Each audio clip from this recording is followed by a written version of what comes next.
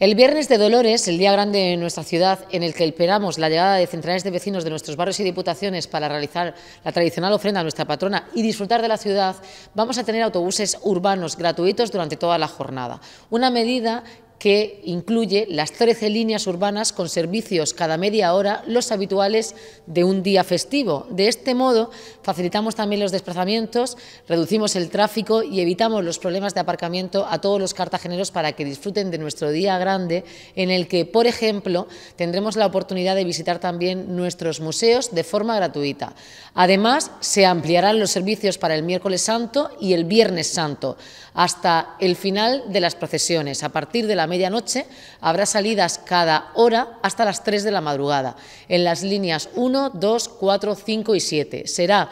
un servicio especial cada hora para dar cobertura a todos los ciudadanos tras finalizar las procesiones.